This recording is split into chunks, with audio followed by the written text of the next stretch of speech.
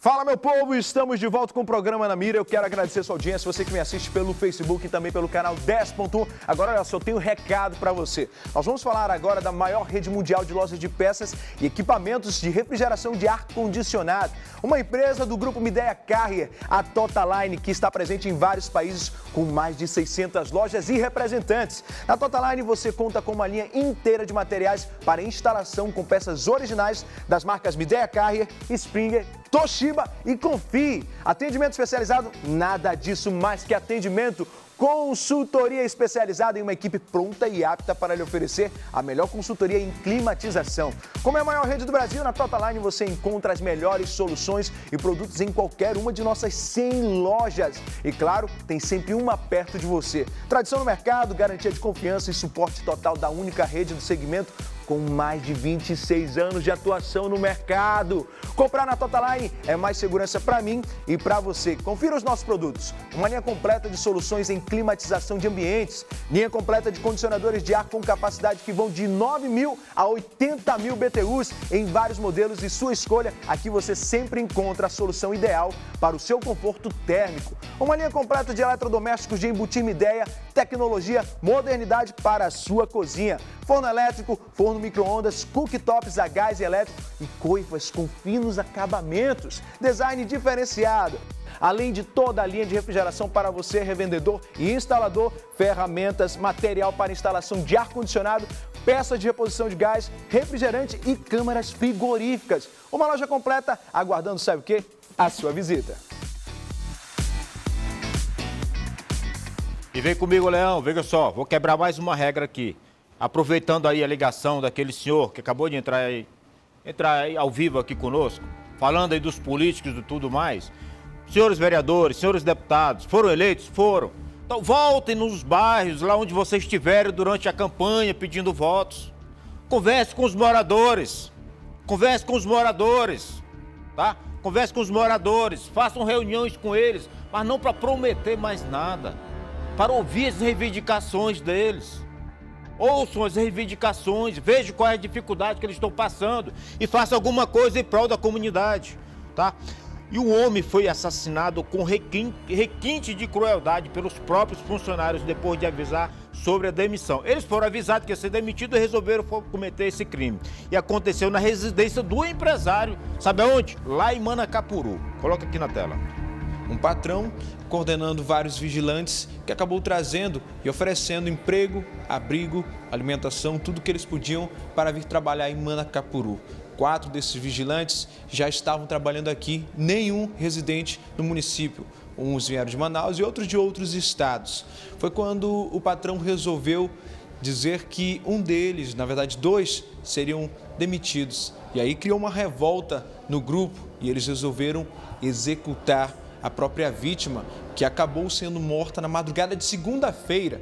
E o quarteto ainda manteve o corpo até a madrugada de terça-feira, quando foi descoberto. Quem vai contar mais detalhes dessa ação criminosa é o delegado aqui da Polícia de Manacapuru, o delegado Rodrigo Tush.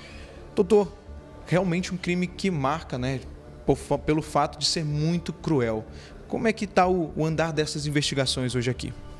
Sem dúvida, né? Foi um crime bárbaro, hediondo. É, de acordo com o que foi apurado, os autores cometeram esse crime aí, como já dito, contra o patrão é, após uma discussão. Né? Segundo eles, a, a vítima teria ameaçados em demiti-los e eles aí, por serem de fora, não teriam onde ficar, motivo pelo qual gerou essa, teria gerado essa revolta toda e aí eles decidiram ceifar a vida da vítima de forma cruel. Né? Ele levou várias facadas no rosto, no pescoço e no abdômen. Após a morte, eles mantiveram ainda o corpo da vítima dentro da residência durante todo o dia, onde só retiraram já por volta de 11h30, meia-noite da terça-feira, horário de pouco movimento na, nas ruas da cidade, e após eles conseguirem um veículo emprestado para fazer essa remoção do corpo aí.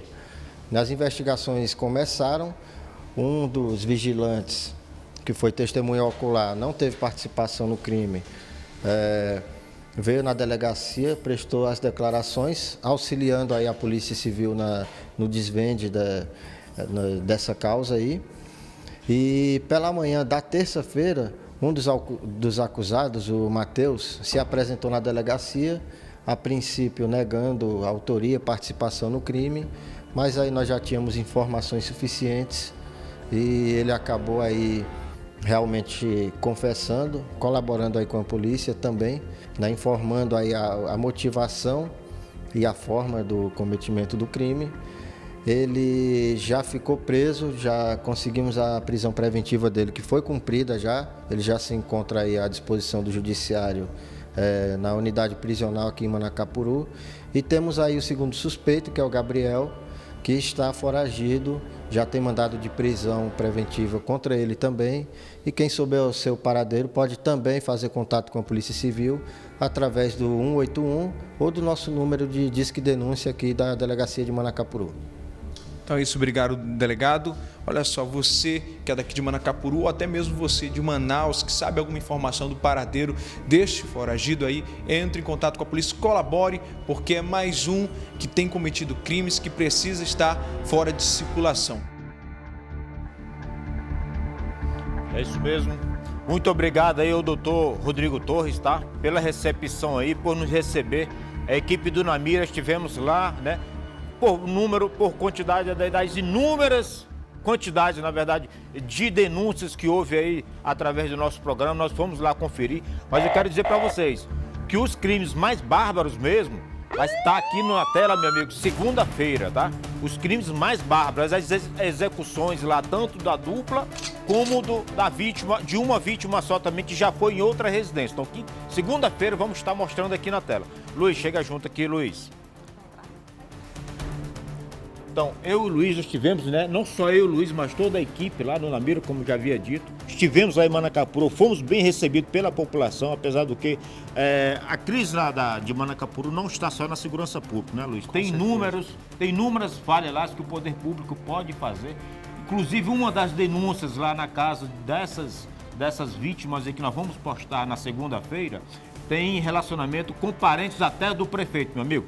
Aguarde que nós vamos mostrar aqui. Eu e o Valdir Rocha e o Luiz Rodrigues. Então fica aí o convite, segunda-feira, não perde, tem matéria especial diretamente de Manacapuru. Quero agradecer sua audiência, você que nos permitiu durante toda essa semana, de segunda a sexta, a entrar na sua casa. Obrigado. Um abraço para a Tefé, um abraço para todo mundo do Facebook. E olha só, final de semana chegou, mas segunda-feira você tem compromisso comigo e com o Valdir. Fique tranquilo, não faça nada de errado e ande pela sombra, porque você pode ser o próximo a entrar na mira. posso mandar um beijo, um abraço?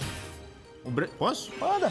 Beijo pra Joana, daqui da, da, da Compensa, aqui pertinho da gente. Um abraço pro Wendel Lima, que está sempre nos acompanhando aí, tanto na TV, também interage conosco aí no Facebook. Todo mundo aí do nosso Instagram também. Então acompanha a gente aí na nova, nova TV.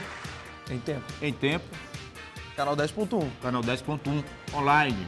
E ele pode chamar? Pode chamar, chamar ela, agora chame ela, chame ela. Márcia, bom dia. Me disseram Olá, que hoje ela está especial. Rapazes? Tudo bem, rapazes? Tudo bem. Como é que foi o trabalho tá hoje? Cadê o sorriso, Márcio? Tá cara de pânico ela, Valdir. Ah, agora sim. Agora eu, eu Os aplausos! Eles se abalam quando eu entro assim séria, né? Eu recebo elogios por sua causa, sabia disso? Como é que são esses elogios? Valdir, tu é amigo da Márcia. Eu falei, sou. Ela me dá um moralzinho. Ah, é? É. Aí ele falou assim, porra. Beijo pra você, tá?